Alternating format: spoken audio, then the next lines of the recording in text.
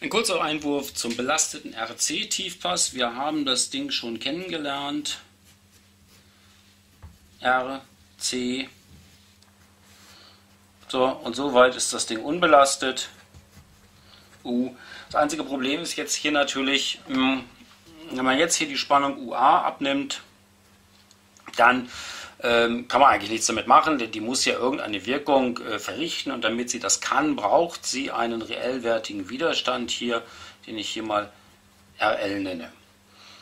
So, der zerstört natürlich die ganze Überlegung und den ganzen, Stro äh, den, den, ganzen Spannungsteiler, den wir da aufgebaut haben für den Unbelasteten. Ähm, und deswegen müssen wir da ein bisschen was tun. Nun, wie setzen wir das an? Ich würde einfach erst einmal mh, hm, die Plätze von C und RL tauschen.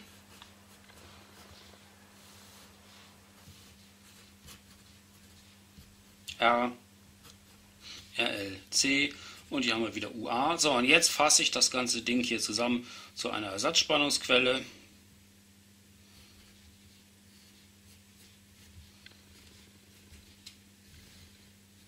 So, U.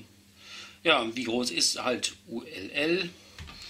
Und wie groß sind diese Werte jetzt mit den Sätzen der Ersatzspannungsquelle, kann man das natürlich rauskriegen. Wenn wir die hier erstmal wegmachen, uns wegdenken und den Widerstand messen, dann ist das hier die Parallelschaltung, also R mal RL durch R plus RL. Und das hier ist die Leerlaufspannung, also einfach nur das, was im völlig unbelasteten Fall ohne das C hier abfallen würde, also U mal RL durch die Summe der beiden. So, und das ist es auch schon. Was wir jetzt daraus natürlich bekommen, ist, dass das maximale U nicht mehr gleich dem U ist, sondern das ist gleich dem ULL, das wir jetzt hier hatten. Und das ist natürlich das leicht geteilte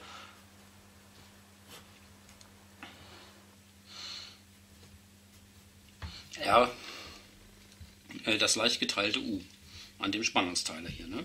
Da, da hatten wir. Okay, was haben wir noch weiter für die Grenzfrequenz? Nun für die Grenzfrequenz kriegen wir natürlich raus, dass das hier über das Omega B gerechnet werden muss.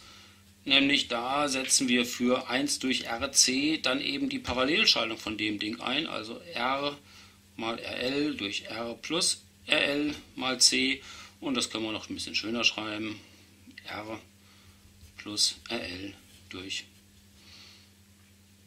RL, RL mal C.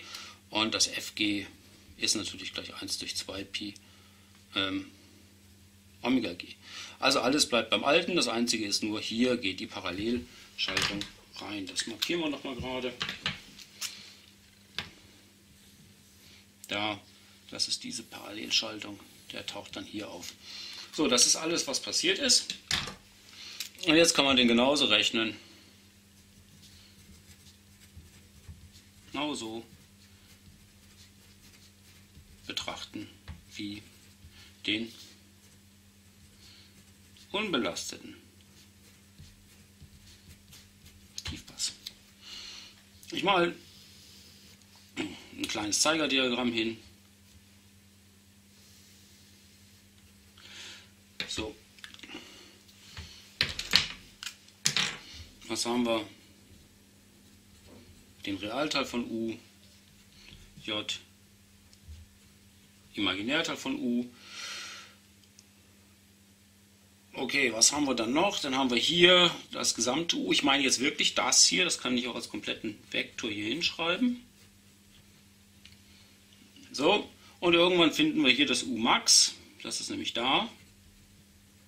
Also ein bisschen kleiner. Hoffentlich nur ein bisschen kleiner, weil das RL nämlich hochohmig ist. Na, und dann wissen wir noch weiterhin, dass jetzt die Spannungen hier auf so einem Thaleskreis liegen müssen. Na, ich mache es mal lieber, mit, lieber richtig. Na, kommt ja etwa hin. Auch wenn ich den Rest nicht konstruieren werde. So, und dann finden wir hier den 45 Grad Punkt hier und können das hier angeben als die Linie, wo FG passiert. Hier hätten wir nämlich den Punkt F gleich 0. In dieser Richtung steigt F an. Da haben wir F gleich FG. Und wir finden unser UA, in dem Fall genau hier und in dem Fall hier finden wir mh, hm, entsprechend UR und zwar das originale R hier. Ja, was wäre bei einem belasteten Hochpass? Ähm, belasteter Hochpass.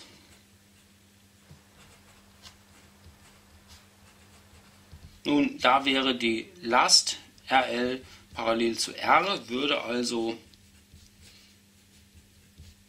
hier hinkommen. R, RL, C, U und daraus folgt Rechnung genau wie oben.